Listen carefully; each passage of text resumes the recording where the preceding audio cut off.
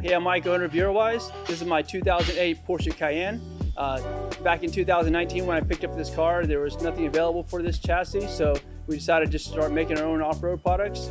Uh, we've done everything from full underbody skid plates to 8-inch travel coilovers uh, to roof racks, lights, brackets, I mean you name it, we've done everything on this car. Now we produce and manufacture and sell them for all the Porsche Cayenne chassis, uh, so you can actually do this for yourself at home. As, uh, as we dug deeper into the build, you know, we found what was weak points of these uh, chassis. So we started developing control arm, tubular control arms. Uh, we started developing rear control arm. We developed uh, subframe spacers. Uh, we now make tubular front and rear bumpers for uh, additional approach angle. you know, we've made just about everything that you can find on your Jeep or Toyota for the Cayenne chassis.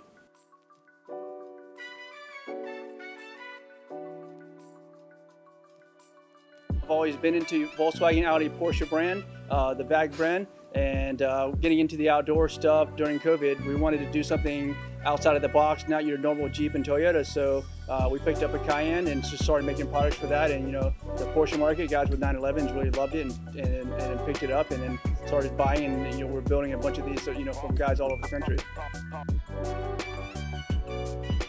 we picked the interest of a lot of guys that in the past loved the outdoor look or the off-road look, but didn't want to buy a Jeep or Toyota. You know, guys uh, with Mercedes, BMWs, and Porsches. So I mean, this, this got a lot of guys interested in being a part of the off-road community.